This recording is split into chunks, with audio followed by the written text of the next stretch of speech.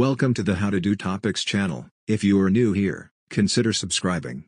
In this video, we are going to take a look how to install a Vissani portable air conditioner on a horizontal sliding window step by step. Information This window installation kit allows the air conditioner installation in most vertical sliding windows, from 18 inches to 50 inches, and wide or horizontal sliding windows, from 18 inches to 50 inches. When unboxing your unit, simply cut the cords from the box. Then take out the top of the box from the unit. Do not try to carry the unit alone because it is a little heavy. After unboxing it, you can roll where you want because the unit has some wheels. How to install a portable air conditioner on a horizontal sliding window step by step. Step 1 Window installation. First, cut the adhesive foam seal to the proper length and attach it to the window sash and frame. Second, insert the vent panel assembly, including extension panels, in the window opening.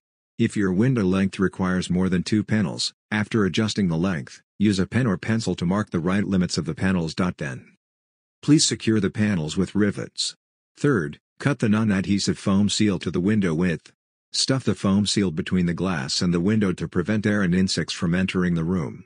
Fourth, install the window lock bracket with wood screws as shown if you need them. You may need a drill to install the window lock, which prevents the window from sliding after installation. Step 2. Prepare the exhaust hose assembly. Press the flexible exhaust hose into the coupling and the window exhaust adapter.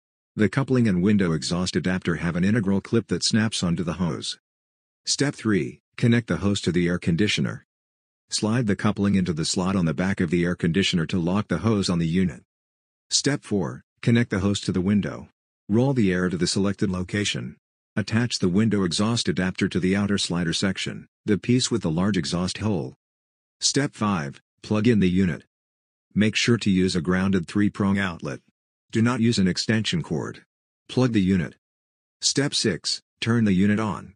Turn the air conditioner on by pressing the power button and setting the desired mode and temperature using other buttons.